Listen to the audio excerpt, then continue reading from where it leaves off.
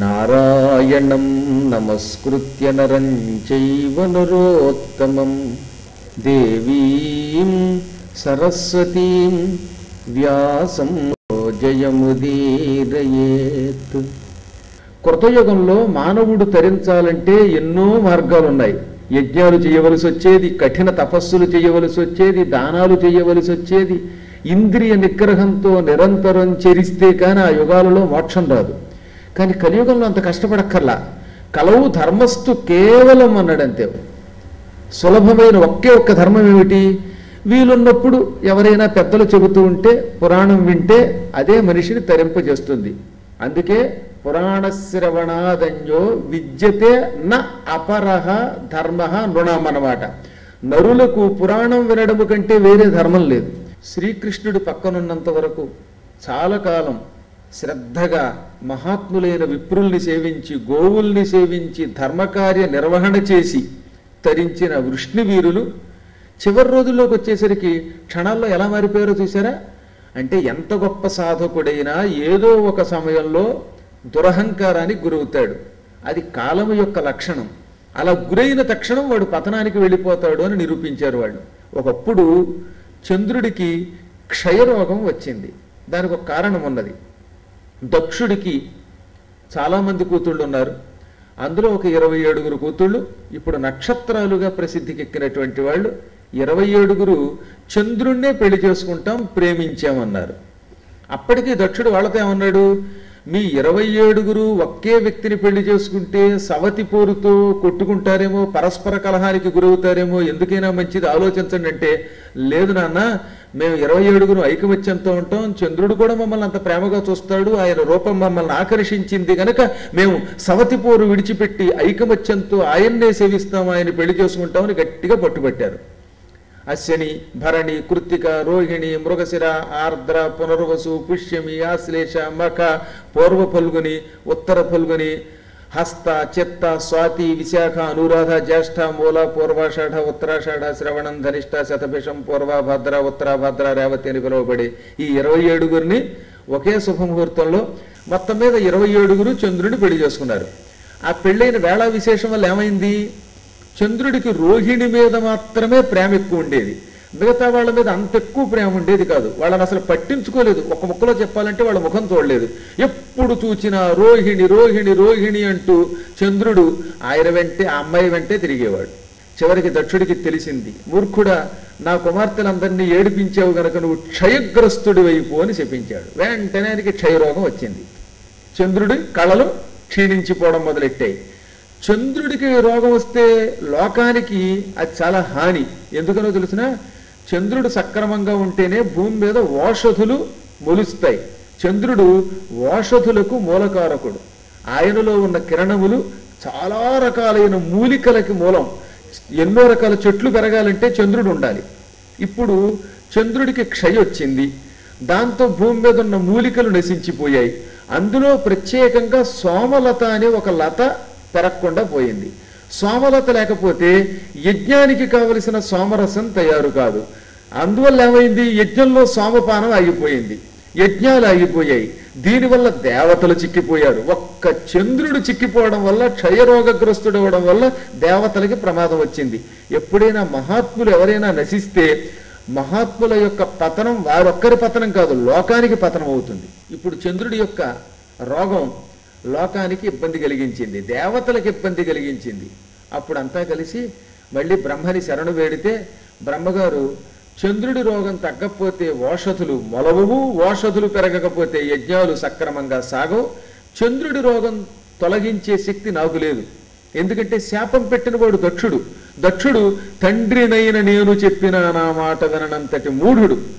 ఈయన రోగం తొలగించే శక్తి ఒక్క శివుడికి మాత్రమే ఉంది. వెళ్ళి శివుడి గురించి తపస్సు చేయమనండరగా చంద్రుడిది విని ఈ ప్రభాస క్షేత్రానికి వచ్చి అత్యంత భక్తి శ్రద్ధలతో శివుణ్ణి ఉపాసించాడు. ఉదయం సాయంత్రం అనే తేడా లేకుండా రోజు ఆరు పూట్ల పూజ చేశాడు. షట్కాల శివ పూజ. ఆ శివ పూజకి మెచ్చుకుని శివుడు మీ మామగారిచ్చిన శాపం మొత్తం తొలగించడం ధర్మం కాదు.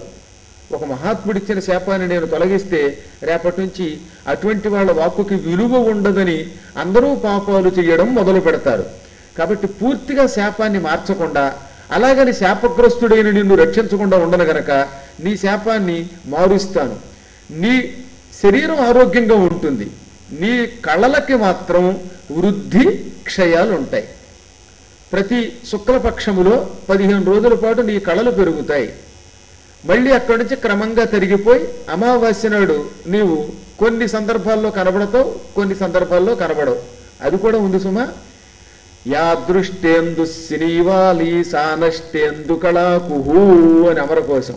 సినీవాలి కుహి కుహు అని రెండు ఉన్నాయి సినీవాలి అంటే ఏమిటనమాట ఇంద్రుని చంద్రుని యొక్క కళ కనబడితే అమావాస్య నాడు కూడా చంద్రకళ కనబడితే దానికి సినీవాలి అని అసలు మొత్తం చంద్రకళ కనబడకుండా పోతే దానికి కుహు అని పేరు అన్నమాట ఈ విధంగా సినీవాలి కుహు అనే పేరుతో ఉండే రెండు అమావాస్యలు ఉన్నాయి నీవు అమావాస్య నాటికి కళలను కోల్పోతూ మళ్ళీ అక్కడి నుంచి శుక్లపక్షంలో కోల్పోయిన కళలని తిరిగి పొందుతూ వృద్ధి క్షయాలు నిన్ను నా శిరస్సు మీద పెట్టుకుంటాను. శిరస్సు మీద పెట్టుకుంటే దక్ష శాపం వల్ల నీకు ఎప్పుడూ క్షయరోగం రాదు. కేవలం నీ కళలకి మాత్రమే క్షయం ఉంటుంది అన్నాడు. గుర్తుపెట్టుకోండి ఎప్పుడు కూడా వృద్ధి క్షయాలు చంద్రుడికి ఉండవు చంద్ర కళలకు మాత్రమే.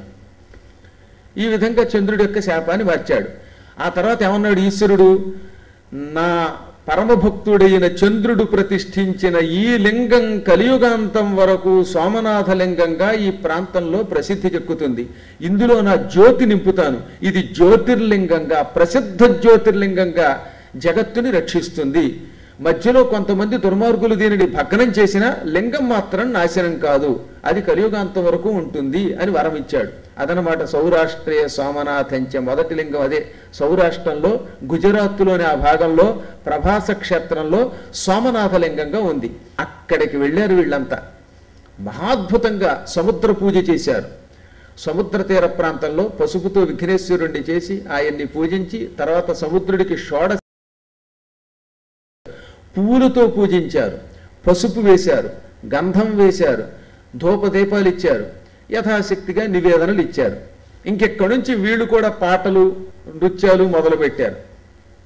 ఈ పాటలు నృత్యాలు ఎక్కువైపోయాయిగా ఇక వాళ్ళు కూడా తెచ్చుకున్న వారుణి వాహిని. ప్రత్యేకమైన వద్యాలు అవి కూడా రుచి కలిగిన వద్యాలట వృష్ణి భోజాంధకులు కురువీర. ఇట్లు రేగి మద్యపానం వనరించి మదము పొంది కేకిసలాడుతూ పొందుపడని పలుకు లెసగంగ తిరిగి నవ్వులు చలంగా. వాడు కంసుడితో దశమ స్కంధంలో భాగవతంలో అన్నారు మహారాజా మూడింటి విషయములో మనం ఎప్పుడూ మెత్తబడకూడదు.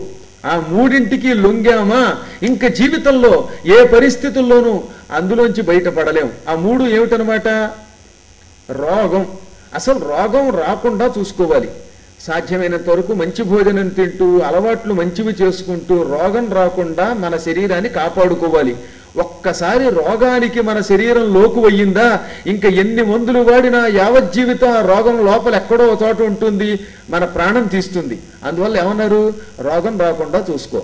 ఒకవేళ వస్తే సంపూర్ణముగా రోగా రోగాన్ని నాశనం చెయ్యి. మంచి మందు వేసుకుని రోగం పూర్తిగా నాశనం చెయ్యి. ముందు రాకుండా చూసుకో.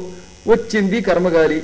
అప్పుడు పూర్తిగా అంటే సమూలంగా ఆ రోగాన్ని ఔషధ సేవనతో పథ్యంతో బాగు చేసుకోవాలి. ఇంక మూడవది ఇంద్రియముల. ఇక్కడ అసలు మెత్తపడకూడదు ఇంద్రియములు అంటే ఇక్కడ వ్యసనములు అని చెప్పాలన్నమాట. వ్యసనముల జోలికి వెళ్ళకు వాటికి లొంగకు. నీ ఇంద్రియాలకు లొంగావంటే కొంపలు ములుగుతాయి. పొందుపడని పలుకు లెసగంగ తిరిగి నవ్వులు చలంగా. అనవసర ప్రేలాపన మొదలయ్యింది ఏం మాట్లాడుతున్నారో తెలియదు నవ్వేవాడు ఒకడు బుర్రగోకేవాడు ఒకడు దండం దండం అని పదిసార్లు నమస్కరించేవాడు ఒకడు పళ్ళు బయట పెట్టేవాడు ఒకడు ఒకడు నవ్వుతాడు ఒకడు నవ్విస్తాడు ఒకడు ఆడుతాడు ఒకడు మురిసిపోతాడు. ఇలా పిచ్చి పిచ్చి మాటలు వచ్చాయి.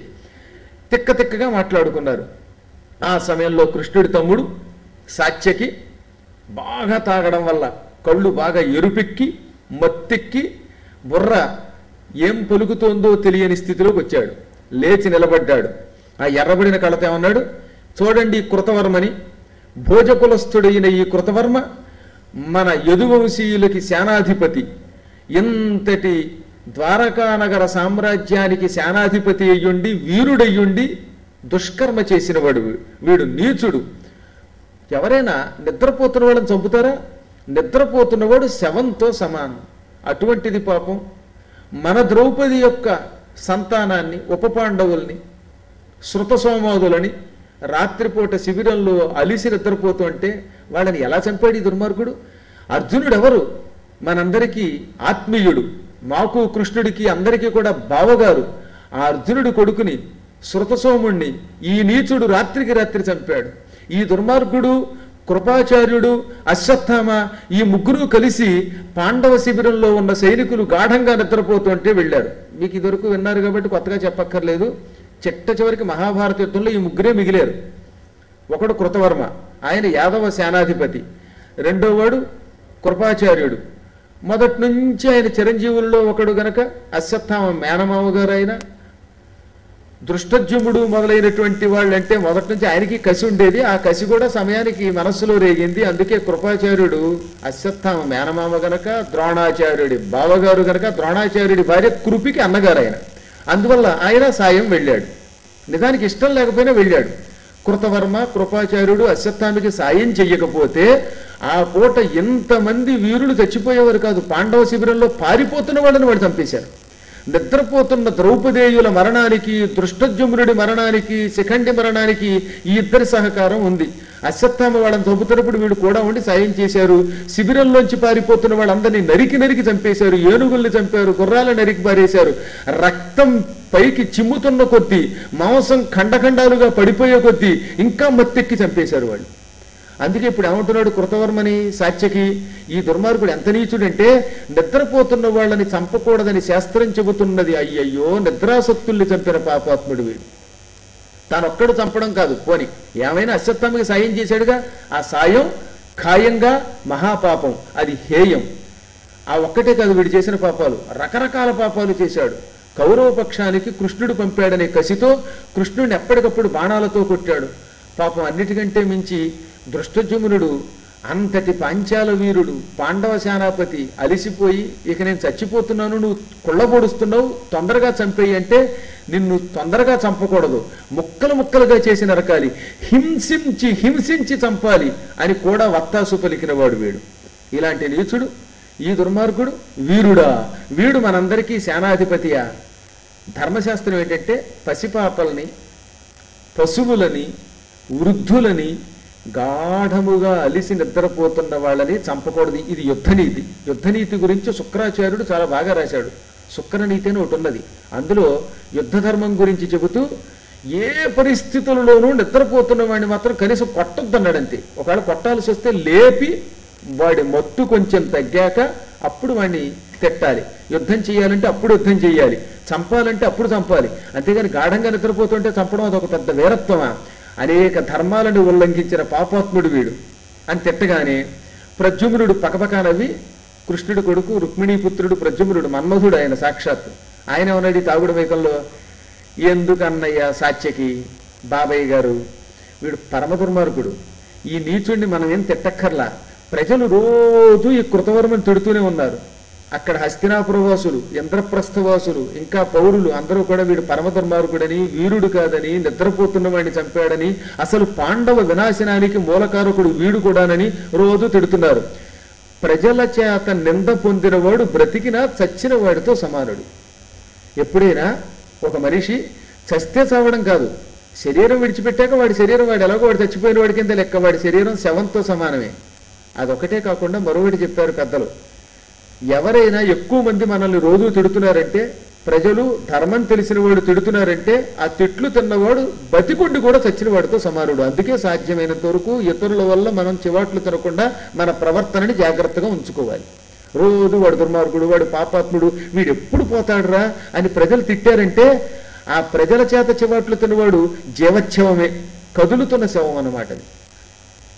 పెద్దలు అందుకనే సాధ్యమైనంత వరకు అయితే ఇతరుల యొక్క ప్రశంస పొందండి. నువ్వు ఇతరులకు ఉపకారం చేసో దానం చేసో ప్రశంసలు పొందలేకపోతే చివాట్లు మాత్రం తినకు.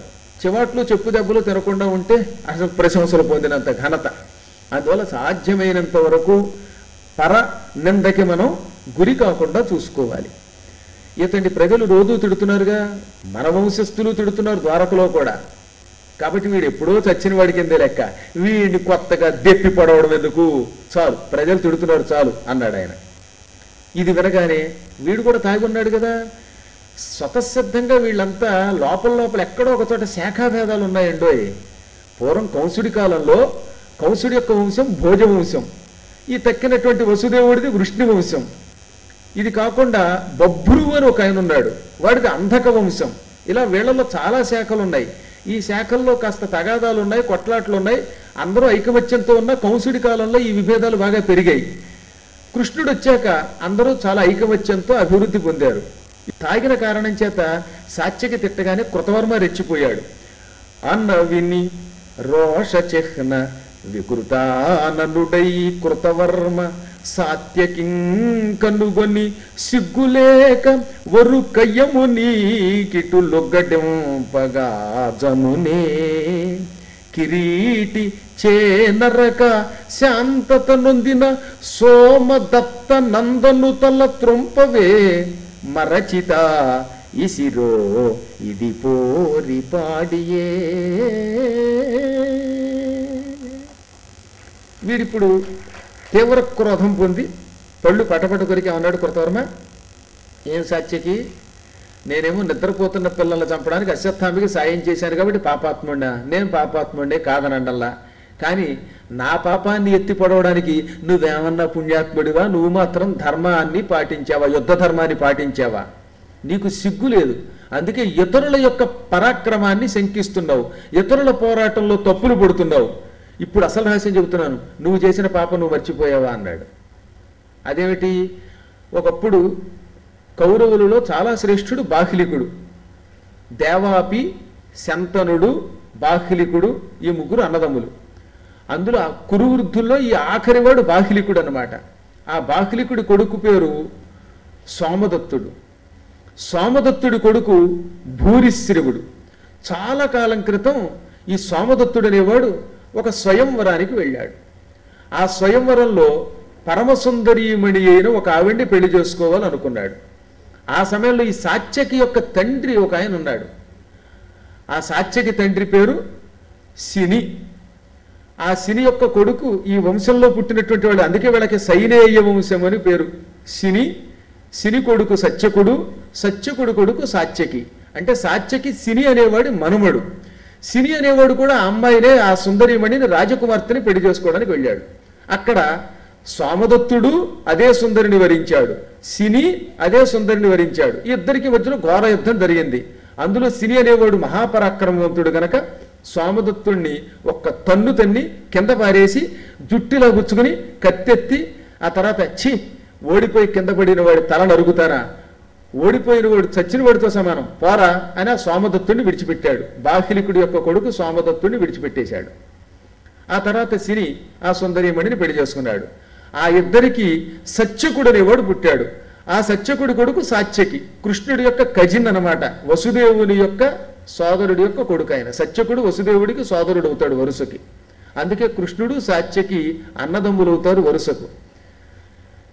ఇప్పుడు ఏం చేశాడు ఈ సోమదత్తుడు? నన్ను యుద్ధరంగంలో చంపేసినా పర్వాలేదు. కానీ సిని అనేవాడు నన్ను తన్ని కింద పారవేసి తల నరకబోయి ఛీ నువ్వు జీవోత్సవం పోరా అని విడిచిపెట్టాడు. నన్ను యుద్ధరంగంలో తల తన్ని కింద పారవేసిన ఈ సినిగాడి అంతం చూస్తాను. ఈ సిని సిని కాదు నా పాలెడి శని అని బ్రహ్మ కోసం తపస్సు చేశాడు.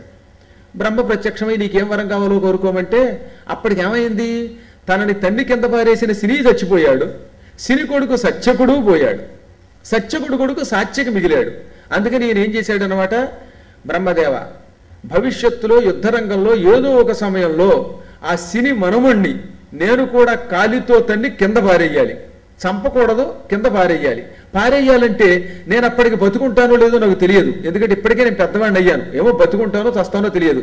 కాబట్టి నాకు ఒక కొడుకుని ప్రసాదించు. నా కొడుకు యుద్ధ రంగంలో సినిమనమణ్ణి కింద పారేసి తన్నాలి.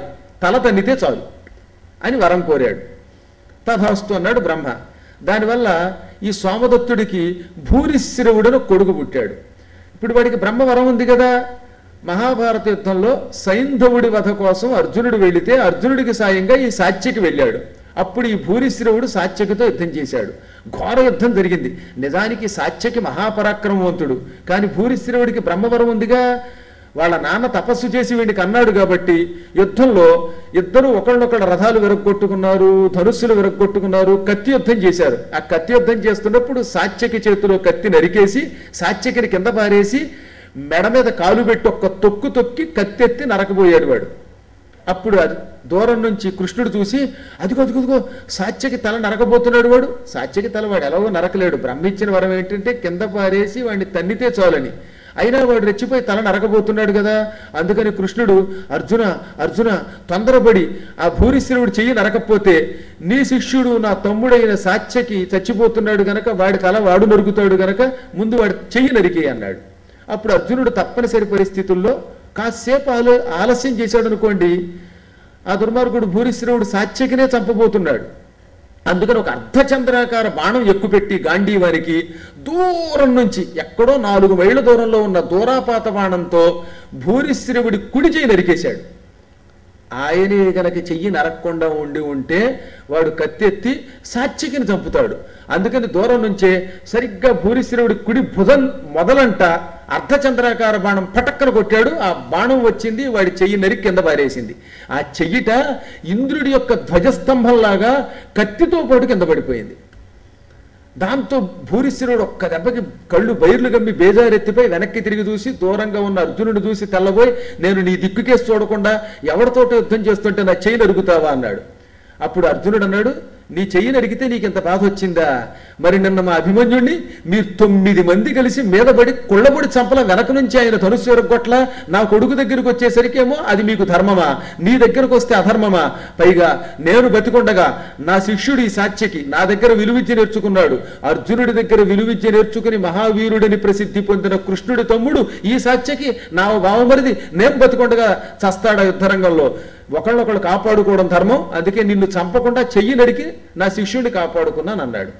దాంతో సిగ్గుపడి భూరిశ్రవుడు నిజంగానే అంతకు ముందు రోజు వీళ్ళంతా కలిసి అన్యాయంగా చంపారు అభిమన్యుణ్ణి. అందుకని ఇంక ఈ యుద్ధంలో నేను బతకడం అనవసరమని ఓ చెయ్యి పోయింది కనుక రెండో చెయ్యి నాభి దగ్గర పెట్టి కళ్ళు మూసుకుని యోగాభ్యాసంతో ప్రాణం విడిచిపెట్టేద్దాం అనుకున్నాడు. ఈలోపు కింద పడిపోయిన సాత్యకి కోపం వచ్చింది అప్పటికే. ఆయన్ని కింద పారేసి మెడ మీద కాలు పెట్టి ఒక్క తొక్కు తొక్కి కత్తెత్తాడు కదా దాంతో సగం ప్రాణం పైనే పోయింది. ఇప్పుడు ఒల్టికి మళ్ళీ ఉత్సాహం వచ్చింది. శత్రువు కింద పడిపోగానే. అందుకని కింద నుంచి లేచి ఏ కత్తితో భూరిశ్రవుడు తన తల నరకాలనుకున్నాడు ఆ కత్తి తీసుకుని అమాంతంగా వాడు చుట్టుపుచ్చుని ఒక్క దెబ్బకి నరికి వదలు పారేశాడు